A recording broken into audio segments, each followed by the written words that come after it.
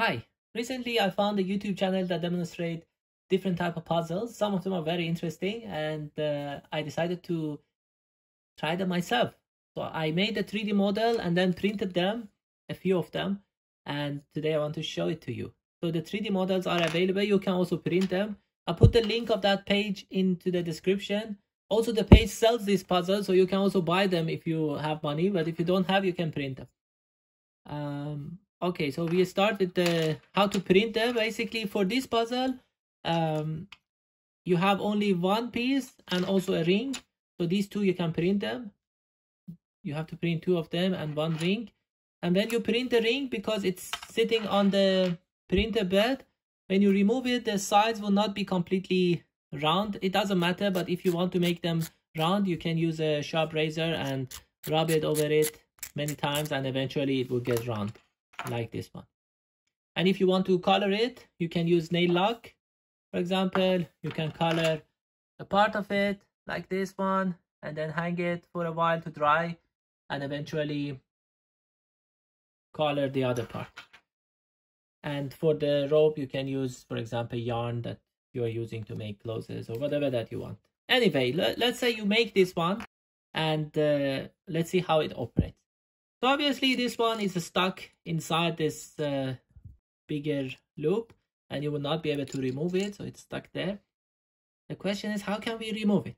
One thing that we notice is that the big ring that is here and this smaller ring, they are actually not inside each other. If they were like this, we would have no chance to remove them, but they are outside each other. So if theoretically we would be able to stretch this for example, if this was made of rubber band and we would stretch it, we could easily remove it. But obviously in this case, this is a stiff, so we cannot do nothing with this. However, this bigger ring can be deformed because it's loose. And that's the trick how to solve it. So the way to solve it is that you put this ring inside and then this side where the ring is on the rope you have to bring it into the ring and then you can remove it. So if you want to put it back you just hold the two like this put it inside and take it out. This is very beautiful. I liked it a lot. So this is the first one. The second one is this one. This is a very simple one. Um, so we have a ring is inside this loop. Obviously you cannot remove it like this. If you pull it up it will create a knot which makes the life more difficult um, in this case, you notice that we have a ring and there is another ring and they are inside each other. So theoretically, we should not be able to remove them. In fact, that is true. If I hold my hand here, then it's impossible to remove them. No matter what I do, this is still, they are inside each other. But the actual puzzle, this one is not fixed. So this one can be moved. So actually, we can find a way to bring this one out. So the trick is that you move it to the other side and when it goes to the other side, if you bring it out, then you can remove it.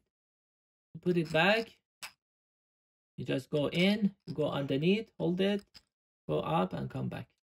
This is, you can create the puzzle. It's very simple one.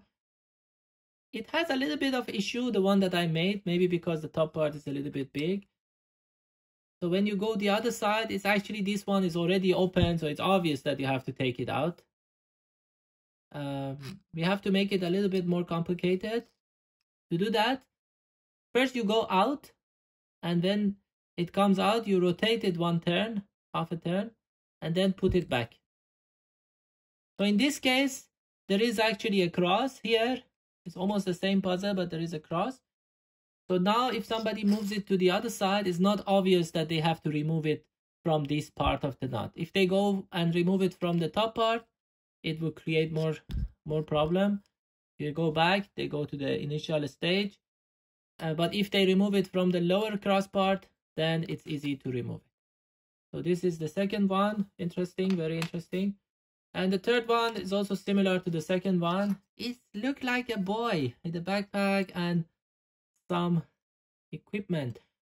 Um, okay, so we have it here. And uh, so this one, obviously, you cannot do it like this. It will not go there. It will stuck here. and this rope you cannot remove it from this one so the trick is that you move it upward and then you have to take this ring and move it to the other side of the stick and now you can move this one aside and this one comes out you want to put it back? You just put it here. Move this one along and uh, go inside. Yes and then move it back. You go to this side and then again go there. So you have it ready. Actually these are very nice pieces. I made a few of them so i decided to give them as a gift to people that i like. So you can try them and make them. So for this one you you have to print one of them and you have to print this stick. They are separate files. So if you want to make this puzzle you can only use that one but then there will be a there will be a hole here. And this one you can put it inside. And then you can make the other one. Or there will be another file that this one is filled if you only want to make this all right. I hope that you like this. Bye